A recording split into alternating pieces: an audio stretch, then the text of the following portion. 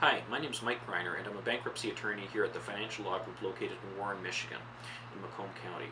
Our website is financiallawgroup.com, and my phone number is 586 693 2000. We do offer free consultations. But I'm here to talk to you today about um, non dischargeable debts from the perspective if you're a creditor of a debt.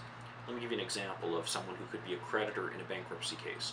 One would be an ex spouse of somebody, where there are certain kinds of debts that are owed to you because of the fact that um, your ex spouse is filing bankruptcy. Um, another kind of uh, creditor um, would be say you are somebody who's a supplier, a small business person who's a supplier to a, uh, to a builder, and the builder files bankruptcy. Say that you are um, a builder who then had built a home and then the homeowners file bankruptcy. These are all the kinds of debts that you might want to talk to a bankruptcy attorney about because there could be ways that you can protect your interests even though the person has filed bankruptcy.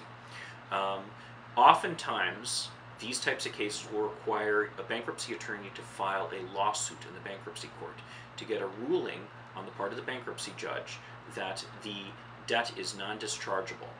Once that ruling is entered, oftentimes, though, you can use that judgment as a, as a, a procedure to do garnishments and to do other, take other kinds of steps to try to collect on that debt. So it can actually work very well to your advantage.